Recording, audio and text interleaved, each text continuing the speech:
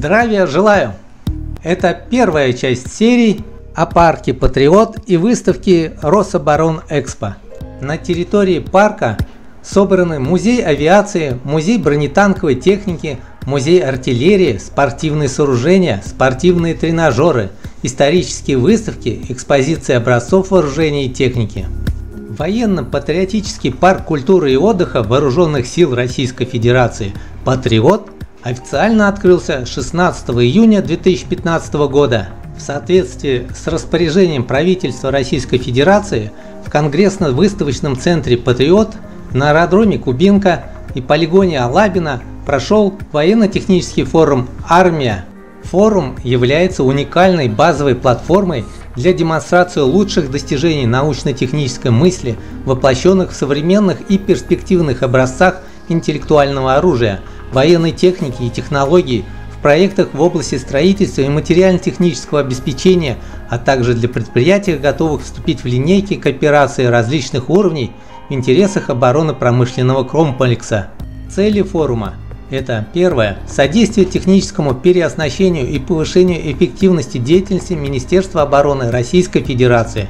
Второе – стимулирование инновационного развития оборонно-промышленного комплекса Российской Федерации, стимулирование деятельности молодых перспективных специалистов научно-исследовательских организаций Минобороны России и ОПК. Третье. Развитие военно-технического сотрудничества Российской Федерации с иностранными государствами. Четвертое. Патриотическое воспитание граждан. Пятое формирование позитивного имиджа Минобороны России как современной и динамично развивающейся структуры и популяризация службы в вооруженных силах Российской Федерации.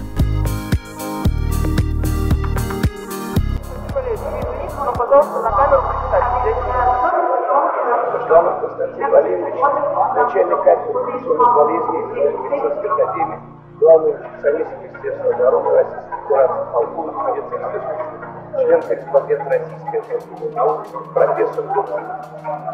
Спасибо.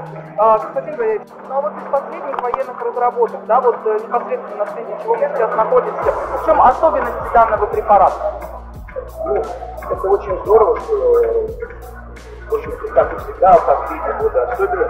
Идет наработка и разработка отечественных препаратов, потому что ситуация сейчас таким образом сложилась, что у нас, да, коронавирусная инфекция, она определяет сейчас все, коронавирусную инфекцию, сейчас начнется новый сезон, у нас есть другие еще респираторные вирусные инфекции.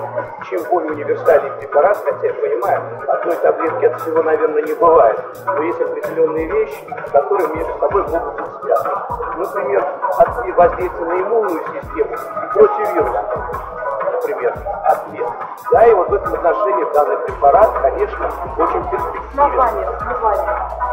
Лобазит, конечно, является перспективным препаратом. Препарат э, давным-давно открыт, и молекула его давным-давно уже была исследована, все было описано в отношении, в первую очередь, противовоспалительного препарата. А потом, последующем, когда было обнаружено, что препарат обладает еще иммунопоследовательностью,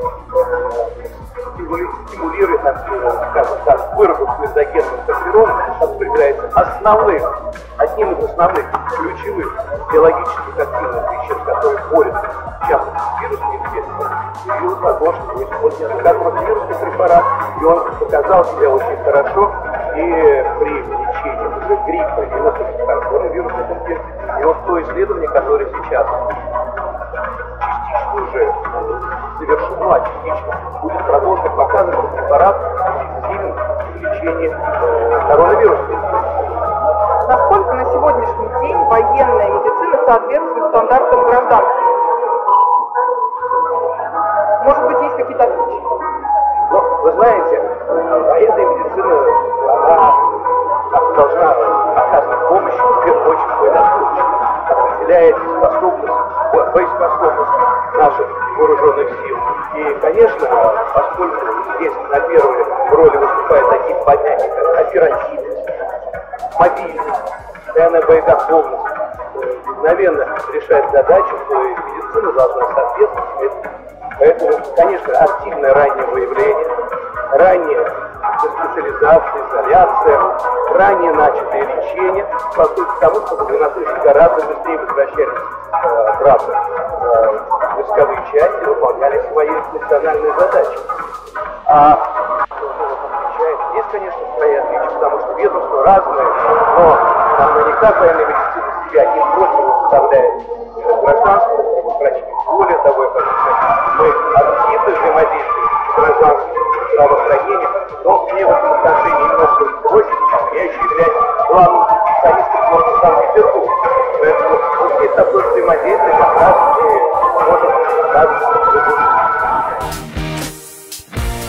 Концерн ПВО «Алмаз Антей» был создан в 2002 году в соответствии с указом президента Российской Федерации и постановлением правительства Российской Федерации. В 2007 году произошло укрупнение концерна и на сегодня в его составе более 60 предприятий из 18 регионов страны. Основная деятельность АО «Концерн ВКО Алмаз Антей» ориентирована на разработку и производство серийной продукции, модернизацию, сопровождение, ремонт и утилизацию комплексов и средств противовоздушной и противоракетной обороны, а также продукции двойного и гражданского назначения. Основная продукция военного назначения – это зенитные ракетные комплексы и системы, радиолокационные средства различного назначения, автоматизированные системы управления, тренажерные комплексы – комплексы бортового оборудования, ГЛОНАСС GPS оборудования. География военно-технического сотрудничества концерна обширна. Количество стран, располагающих военной техникой, разработанной и произведенной предприятиями концерна, превышает 50. Со многими иностранными заказчиками концерн связывает многолетнее плодотворное и взаимовыгодное сотрудничество. Основные направления научно-технической деятельности концерна – это первое – Формирование облика технической основы системы воздушно-космической обороны Российской Федерации в интересах решения задач обеспечения военной безопасности России в воздушно-космической сфере. Второе.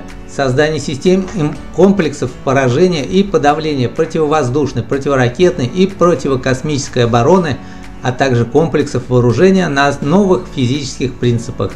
Третье разработка радиолокационных комплексов систем наземного, воздушного, космического и корабельного базирования.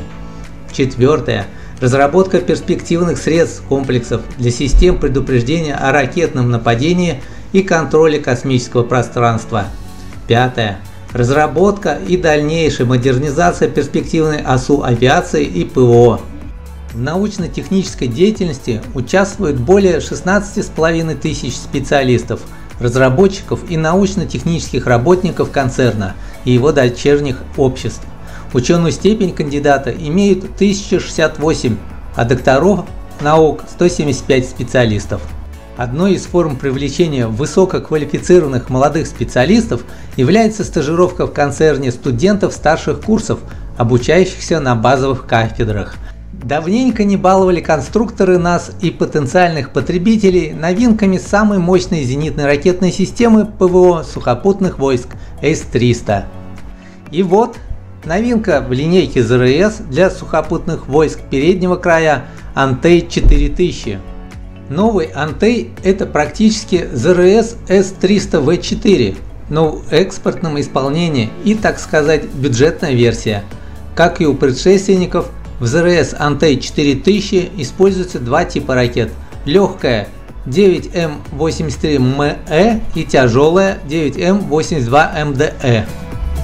По заявлению разработчика АО «Концерн ВКО Алмаз Антей», тяжелая ЗУР 9М82МДЭ является самой быстрой зенитной ракетной в мире – в новой ЗРС дальность поражения аэродинамических целей ракетами 9М83МЭ составляет 150 км, а 9М82МДЭ 380 км.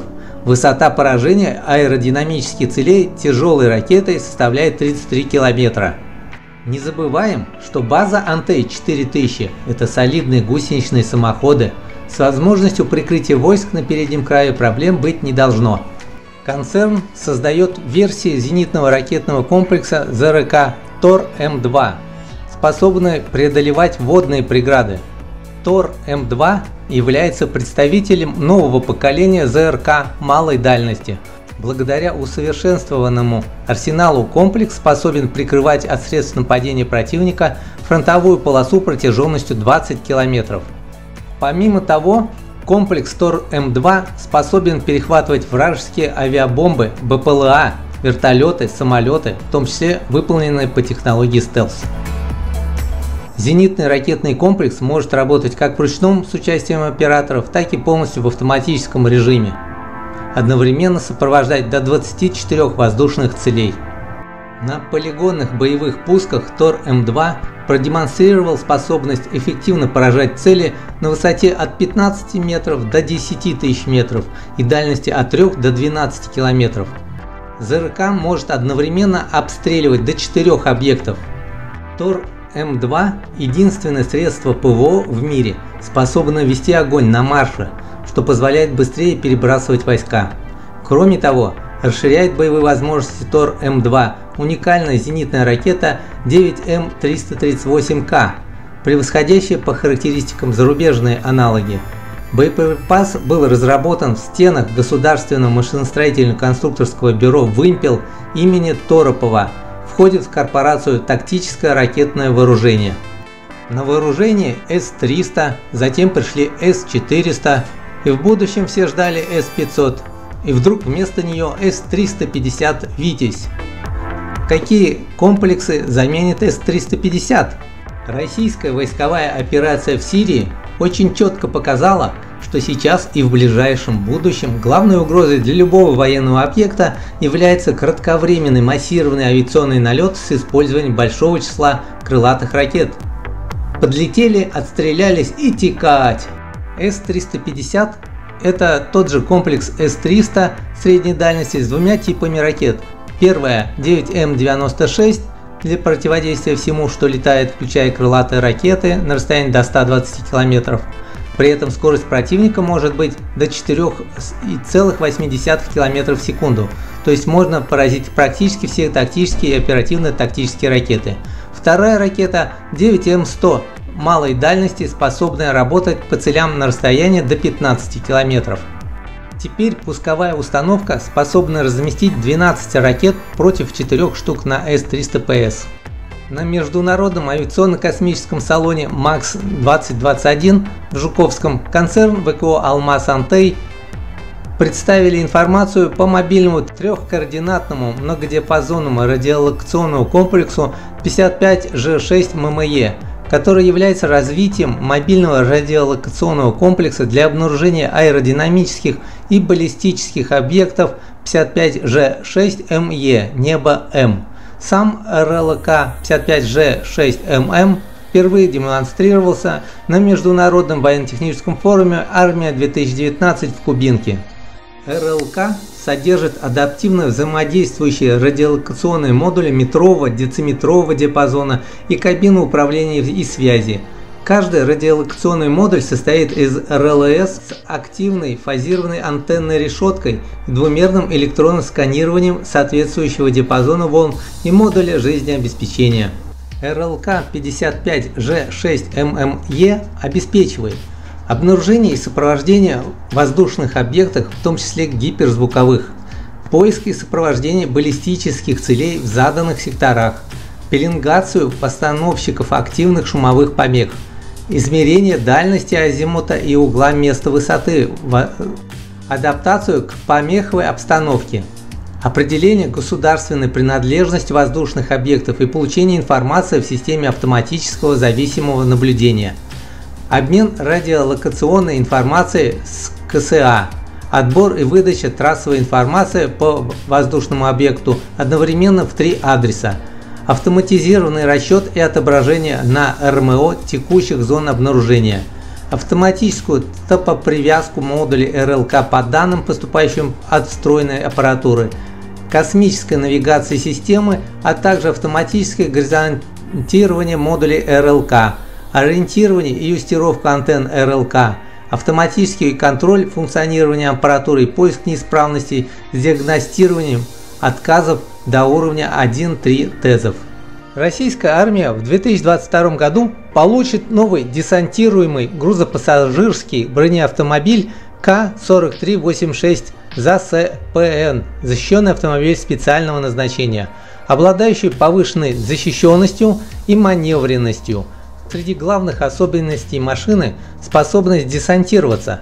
Грузоподъемность нового броневика в районе 3 тонн позволяет подразделению спецназа до 5 человек оперативно доставлять все необходимое имущество и оружие к месту боевого задания, а не носить его на себе. К-4386 за СПН обладает наибольшим уровнем противоминной и баллистической защищенности, скорости 142 км в час и маневренности из всех броневиков, представленных на армии 2021. На этом все. До встречи.